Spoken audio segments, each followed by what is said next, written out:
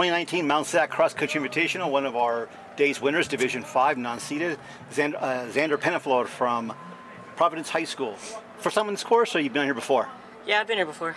Uh, as far as the heat today, much of a factor for you, even though it's a bit of a breeze right now. Out Yeah. there, it's pretty, pretty, pretty dry. Yeah. What were conditions like for you? How did that affect your race? Uh, I feel like I could have gone like 30 seconds faster. Really? So Yeah. 17:02 today in the heat to win your race, but you Yeah. felt like 30 seconds maybe or so. Yeah. What were the problem areas in the course today for you, if, if, if there were problem areas? Um, I wanted to go uh, below 16s. It didn't work out.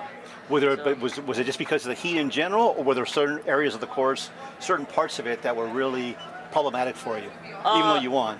It was a it was a little confusing because uh, I didn't race this particular course. I raced it in a different way. Gotcha. Okay. Which version did you have last time? What was the main difference? Um, so we started uh, where we usually started, and then we went that way. And then we did it basically did it, did it backwards. Gotcha. Okay. Okay. The as far as your season so far, how's it been going for you? Uh, it's pretty good. Uh, I recently changed schools, so um, that was a big difference. Is that because you had a residence move, or what was the reason for the change of schools? Uh, Providence High School is just a great school in general. I like the, edu- the education. I feel like I can go to a good college with it. Excellent. Yeah.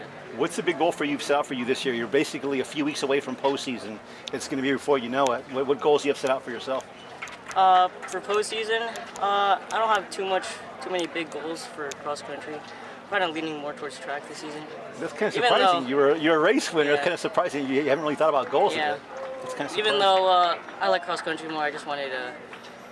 I feel like I didn't improve a lot during last track season. I want to improve this track season.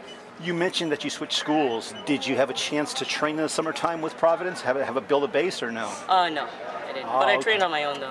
Okay. How did you feel conditioning wise coming into the season? Did you feel in really good shape or not quite as much as much conditioning and base as you want? Uh, I was in good shape. Okay. Uh, I've been having a pretty good training the past few months. So Xander, you mentioned you're kind of looking forward to track. You, you're already, as you showed today, you're in good shape. Yeah. Why the uh, attraction toward track? Why looking ahead already? I just wanted to race a race a good mile and two mile. Yeah. What, what are your goals there? Have you set but I'm more of a three three mile one. All right, sounds good. All right, Xander Peñaflor, once again, one of our race winners today at the Mount SAC Invitational. Thank you. Thank you.